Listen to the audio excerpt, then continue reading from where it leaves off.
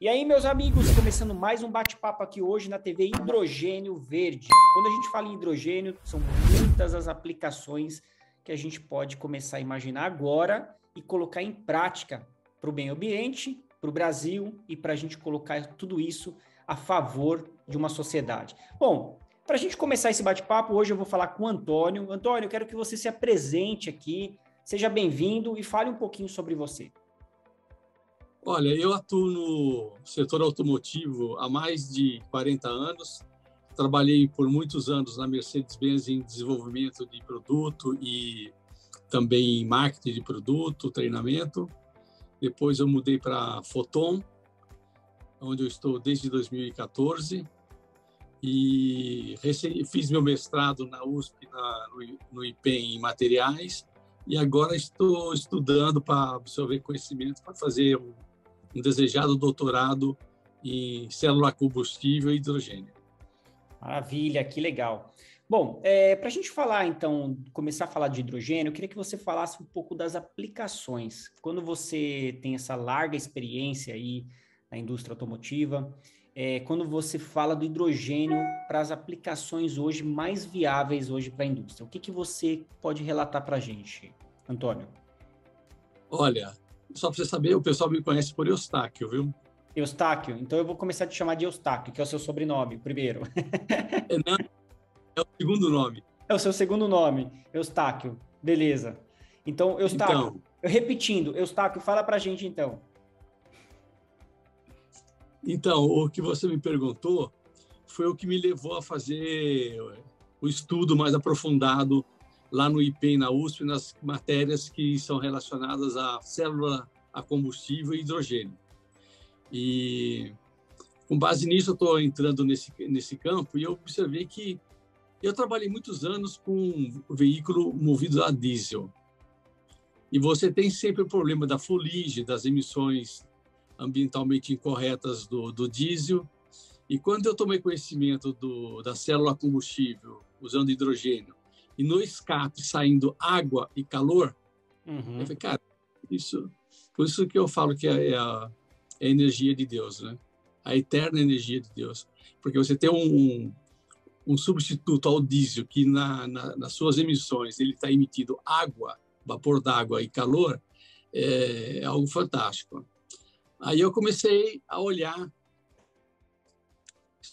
lá nessas matérias, numa das matérias que eu estava fazendo, tinha a aplicação veicular do hidrogênio, que eu fui mais a fundo. Aí eu estava lá estudando, eu fui até visitar uns ônibus que o Brasil, de uma forma bem de vanguarda, já tem aqui no ABC, ah, que rodaram aqui em, São Paulo, acho que em 2016, coisa assim, e estão tentando reativá-los agora novamente. Aí eu fui ver, rapaz, eu falei, caramba, né? É uma visão de uma tecnologia muito avançada. Você pegar e jogar hidrogênio numa, numa célula combustível e você obter energia elétrica é, com esse igual de pureza que eu falei, é, praticamente está virando um purificador de ar o motor, uhum. ou, ou, ou o motor célula combustível. Aí eu fui lá ver isso, fiquei encantado. Aí comecei a pesquisar vi aplicações em caminhões também muito acelerada. A Mercedes na, na Europa está desenvolvendo um caminhão com célula a combustível e com o hidrogênio armazenado na forma líquida, que dá mais ou menos 80 quilos de hidrogênio armazenado para rodar mil quilômetros com o caminhão. Hum. Eu falei, caramba, isso é fantástico. Aí fui empresas aéreas também, ou empresas fabricantes de produtos, estão focando também no desenvolvimento de aviões para curtas distâncias, até 4 mil quilômetros, para, com uso de hidrogênio para diminuir o impacto ambiental. Trem, também já tem trem rodando com célula combustível e hidrogênio. Embarcações rodando da mesma forma.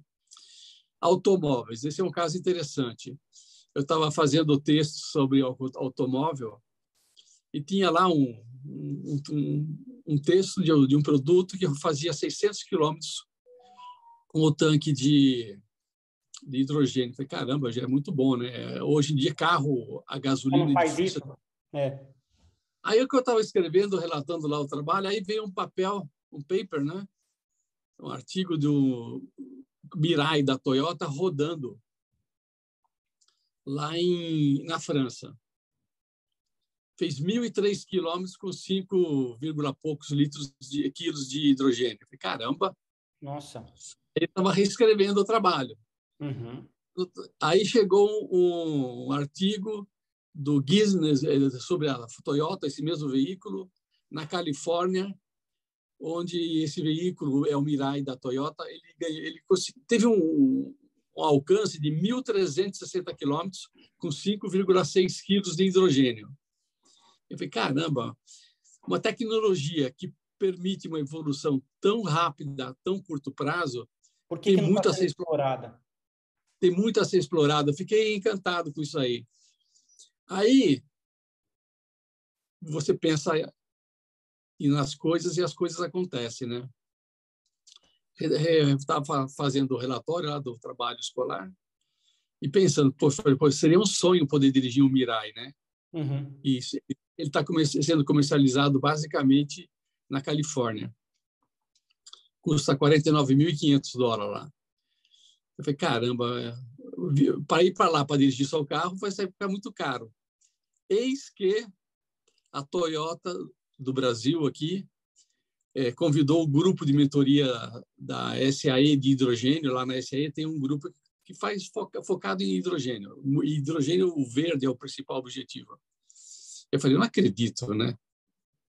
Aí no dia 8, 8 de julho, nós fomos lá na Toyota fazer o test drive com os veículos elétricos, os veículos plug-in, os veículos híbridos e com o Mirai célula combustível.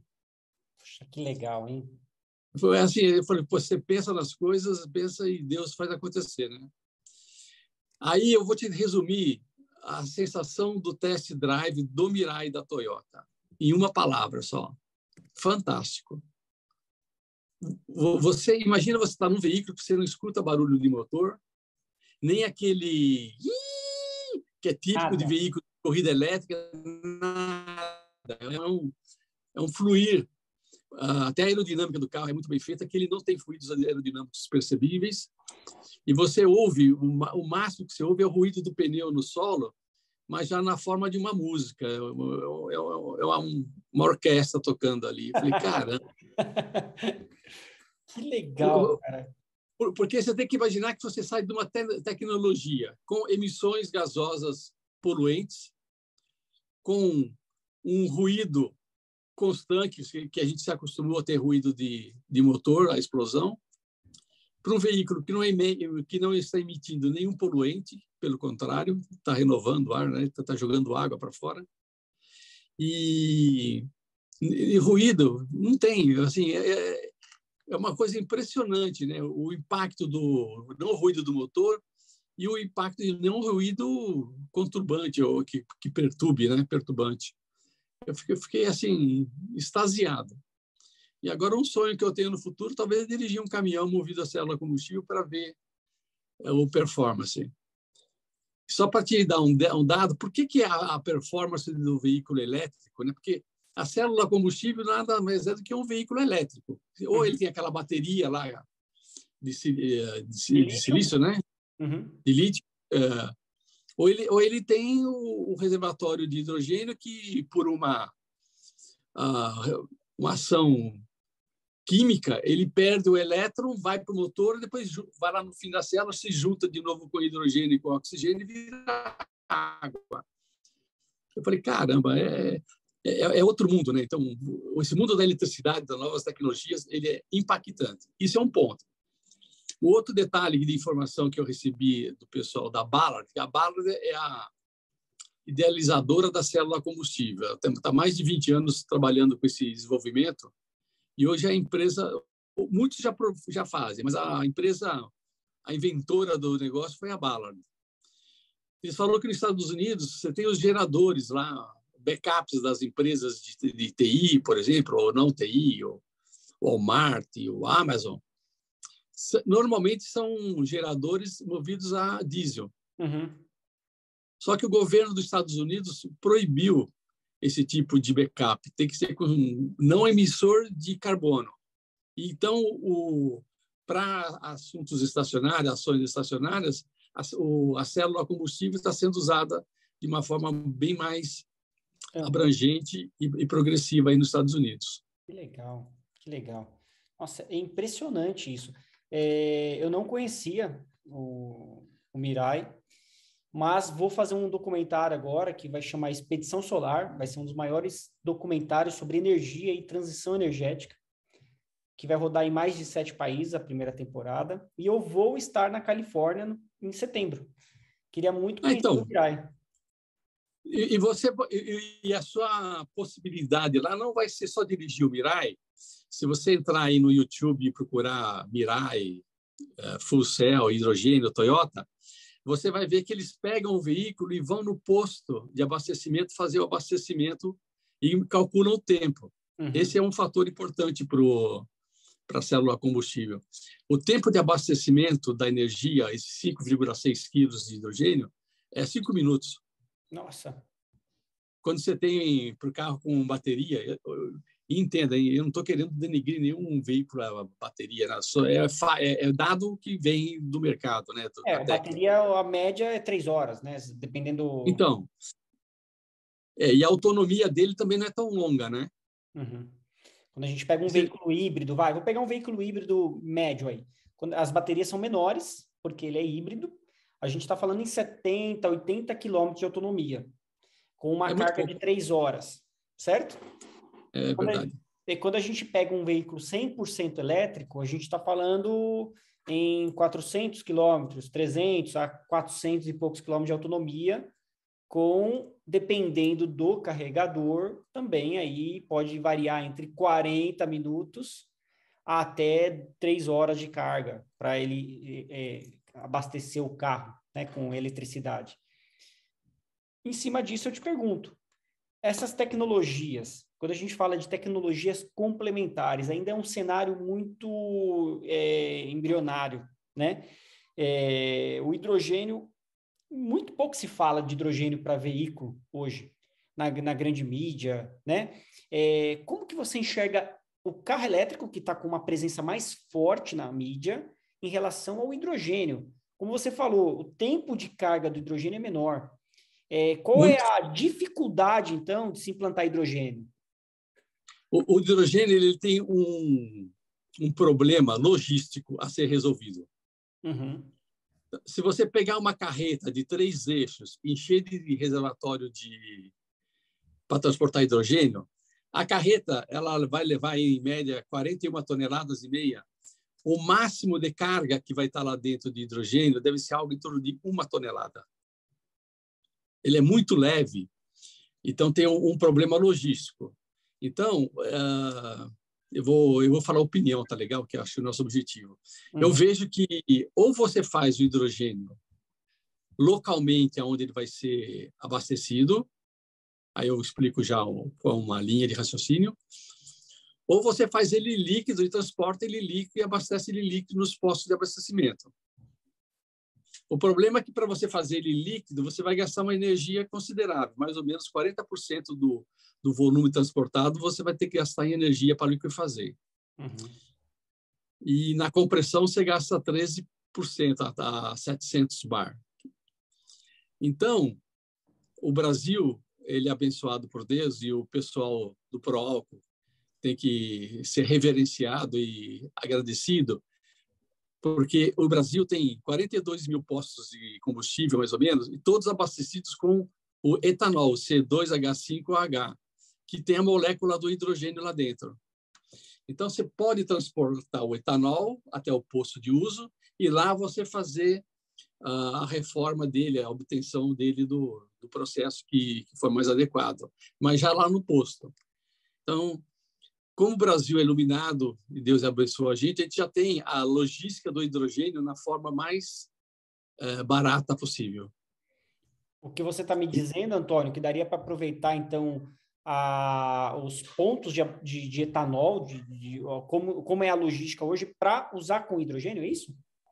É, você pega o etanol, você transportou, está lá na bomba ou lá no posto, você faz, tem um processo que chama reforma a vapor, por exemplo, que você pode extrair o hidrogênio do etanol e usar localmente. Então, é, um, é uma unidade que até o Brasil, uma empresa aí de Campinas, de região de Campinas, Sumaré, a Hytron, ela tem desenvolveu esse reformador a vapor para o etanol. É o único país que tem isso, somos nós aqui no Brasil. Então, seria em cada posto de gasolina, cada local que vai fazer a logística aí, ó, fornecer, ter um reformador.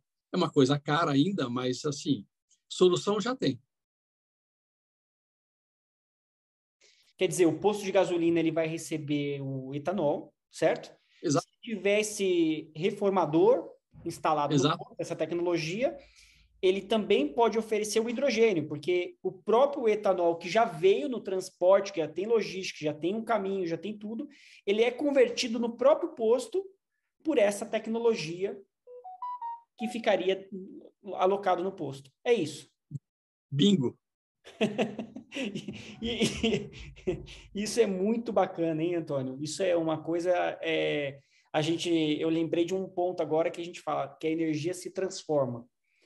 A energia nunca se perde e a energia se transforma. E nós, seres humanos, temos que entender qual é a melhor transformação, qual é a melhor fase, como que a gente vai usar a composição das energias no momento e na quantidade que a gente precisa. Seria isso, né? Exato, e depois você pode agendar uma entrevista com o Daniel Lopes, da Hytron, eu passo o contato para você, porque ele está mais de 20 anos fazendo pesquisa nessa, nessa linha e hoje domina já essa tecnologia. Uhum. Eu quero sim, eu quero o contato dele, eu quero fazer uma entrevista com ele. Que bacana, é então são muitas as possibilidades. Então você fez um test drive dos seus sonhos, que você conseguiu fazer aqui no Brasil, não precisou ir lá para a Califórnia. E você, então, hoje, o hidrogênio, a gente tinha falsa impressão, eu pelo menos tinha falsa impressão, que o hidrogênio era aplicável para grandes consumos, veículos pesados. Na verdade, não. Na verdade, a gente pode sim trabalhar com hidrogênio em veículos leves, veículos de passeio. Concorda comigo? Melhor do que você está falando um grande um grande mercado que é vendido uh, vou chamar de veículos para com hidrogênio é o de empilhadeira uhum. lá nos Estados Unidos muita empilhadeira utiliza já o hidrogênio porque ele é de fácil abastecimento no local na empresa o circuito de quem está rodando é pequeno e ele não pode estar tá trabalhando no local emitindo é, fumaça, gases nocivos. Ele está emitindo vapor d'água e calor. Que então, legal. Então, lá, quando você for na Califórnia, você vai poder indagar isso para os ah, representantes locais do hidrogênio da célula combustível, que a empilhadeira é um é um, poten é, é, é o primeiro cliente de escala, vamos falar assim.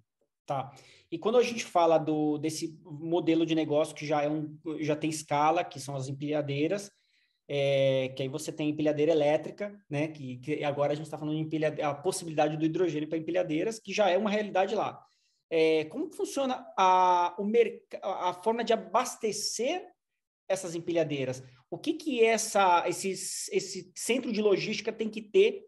Ele tem que ter um hub de hidrogênio? Ele tem que ter um, um, um tanque lá, de, um, um armazenamento de hidrogênio. Normalmente ele está na forma gasosa, Uhum. E ele vai, vai é, comprimir isso a 350 ou 700 bar. Em automóveis, vai para 700. Em empilhadeira, eu te confesso que eu não sei qual o valor, se é 350 ou 700 bar. Tá. Ele compra pronto já em, em estado gasoso esse hidrogênio que vai ser, vai ser armazenado lá, correto? Correto. E se você, voltando a dar uma, uma orientação a você, se você olhar na internet, o abastecimento de hidrogênio, é quase é parecido muito com uma bomba de gasolina, só que ao invés daquele bico que, que ela fica solto, ele tem uma, uma conexão, é, tipo engate rápido, entendeu? Ele engata e veda e abastece ali. Você começa a abastecer e quando chega a pressão limite estipulada aqui pelo fabricante, ele para de abastecer. Que legal, que legal. Quer dizer, são tantas as possibilidades. Eu fiquei imaginando agora aqui, Antônio, as possibilidades, por exemplo, de você ter uma fazenda solar com um hub para produção de hidrogênio próximo a grandes consumidores que, que por exemplo, uma, um distrito industrial que vai consumir o hidrogênio. Então, você consegue ainda melhorar a logística e entregar esse hidrogênio através de uma planta, quando a gente fala hidrogênio verde, porque já existe o hidrogênio azul, o cinza, né? Mas a gente está falando do hidrogênio verde aqui.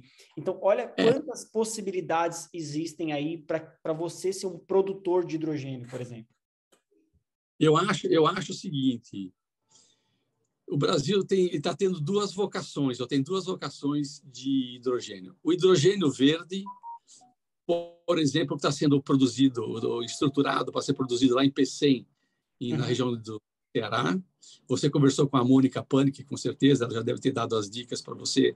Sim. Da estruturação que está sendo... É, que, que é um grande corredor para se exportar o hidrogênio. Então, lá, lá, lá tem aquilo que você falou no início da, da nossa conversa. Você tem energia solar e energia eólica. Uhum. Com essa energia elétrica, você pode fazer a eletrólise da água e absorver o hidrogênio. Eu, assim, pessoalmente, eu vejo que no futuro ele vai ter que ser convertido em líquido para ser transportado nos navios uh, na forma econômica, porque no, em gás eu acho muito difícil. É, então, você tem lá... Você tem uma amônia também, né? Você pode transformar em amônia para ser transportado, não pode? Também pode fazer isso. Mas eu, assim, eu acredito mais que se você já está com ele já na molécula de H2, talvez resfriando ele seja mais vantajoso.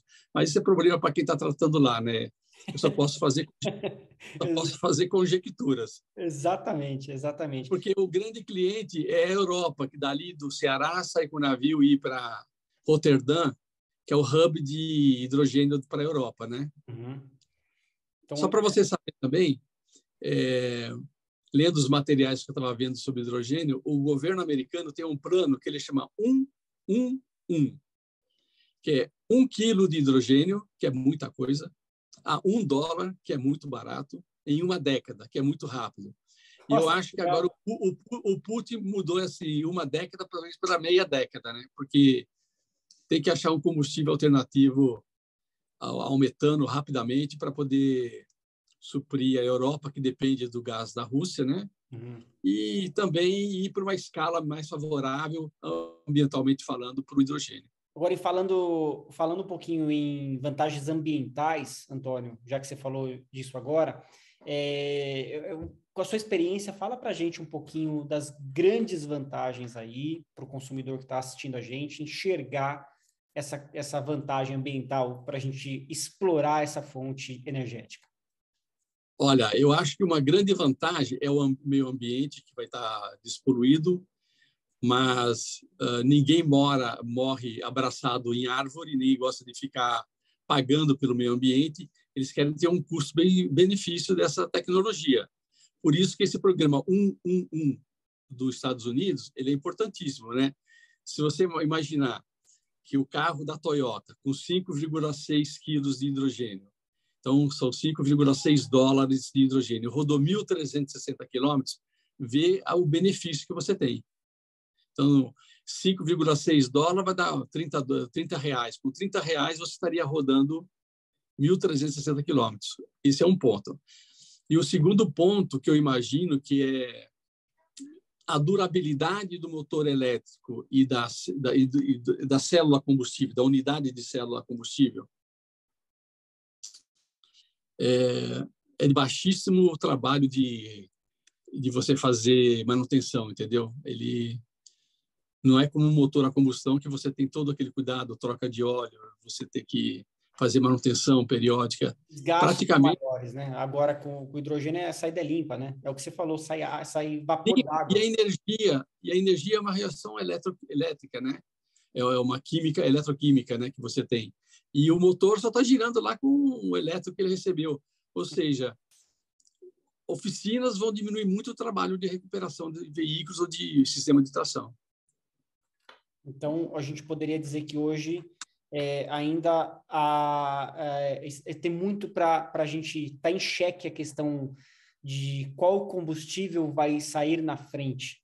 Quando a gente fala da, do armazenamento por baterias ou do uso do hidrogênio, é, a gente, eu estou enxergando agora uma paixão grande pelo hidrogênio que eu não, não tinha relacionado à, à indústria automobilística, né? Então, existe sim um caminho fantástico aí pela frente que a gente começa a explorar a partir de agora. É isso, né, Antônio? É isso. É, o que você falou, é, vou dar um exemplo. Eu fiz uma palestra no, no congresso que teve recentemente e expliquei sobre esse tema do, do hidrogênio. Rapaz, eu acho de umas cento e tantas pessoas, que teve duas que vieram falar comigo com tentando aprofundar, mas é um tema ainda tem que ser educado no mercado, tem que ser é. divulgado, mas sabe, é um é um processo muito interessante. Eu tenho, tenho até uma apresentação que eu faço que eu que eu mostro o início do veículo. Tem o William Duran, que foi o fundador da GM, ele era fabricante de carroça com cavalo. E ele olhou a, a chegada do automóvel. O que, que ele fez? Ele foi atrás de empresa de automóvel para comprar, que ele era um cara rico, né? Porque ele viu que ia ter a mudança do, da tração animal para tração motorizada. E isso é um fato porque em Nova York, lá no começo do, século, lá quando não tinha ainda veículo elétrico, tinha veículo nem a combustão, tinha mil toneladas de esterco sendo recolhida todos os dias em Nova York. Nossa. Olha, e hoje nós estamos saindo do veículo com emissões de carbono para emissões à água. Então eu faço o mesmo correlação. Nós estamos saindo da época do esterco no, na rodovia ou do carbono na, no escape para o vapor da água no, no, escape. É fantástico isso, né? É fantástico. É, é, é vivenciar a história. Quem sabe que quem sabe até que hoje a gente fica longe dos escapamentos dos veículos porque faz mal, né? É, daqui a pouco o escapamento ele vai estar dentro do carro como um vaporizador para você fazer uma inalação. Eu não tive coragem de fazer isso, mas nos vídeos que fazem sobre célula combustível lá, o pessoal coloca um copo e capta água e bebe. É. É, isso é, é, é, é um, é um tema para o próximo vídeo, para a gente falar. Antônio, poxa, muito legal esse bate-papo aqui. É, realmente, assim, é, é, uma aula que eu tive aqui com você, e é esclarecedor e enriquecedor. Quero é te convidar aqui mais vezes para a gente bater um papo, chamar mais pessoas do setor, e a gente vai trazer essas informações para que o público tenha noção de tantas coisas boas que a gente pode trazer aqui, certo? Certo, e, e viva o etanol. E viva o etanol também, porque o etanol é o nosso combustível verde que está aí há quantos anos, né? E hoje, comparado com outras matrizes, com outros países, olha como a gente tem privilégios. Nosso sol é abençoado, nós temos sol em abundância, nós temos capacidade de transformar o nosso corredor aqui em, o Brasil um grande produtor de hidrogênio para a Europa. Então tem muita coisa legal que a gente pode explorar agora, correto? Certo, então, e o etanol tem uma vertente chegando aqui no Brasil, que não era muito usual, que é produzir o etanol do milho também, para você manter a usina operando 12 meses do ano, não ficar parada para fazer manutenção quando tem a entre safra da cana. Então, também te posso te dar um, uma dica para você entrevistar o Eduardo Lima da Millennium Bioenergia, porque ele tem um conhecimento sobre as fontes de etanol tranquilas aqui para o Brasil. Ele é um visionário. Show, legal. Bom, parabéns, obrigado pela sua participação aqui hoje. É, se você gostou desse vídeo, acompanhe o nosso canal Hidrogênio Verde. Nós temos um canal específico sobre essa temática e nós estamos inaugurando esse canal com muito carinho para levar informação para você, público, para você que trabalha no mercado, ficar bem informado. Obrigado, Antônio. Um abraço para você. Abraço, pessoal. Até mais. Tchau, abraço.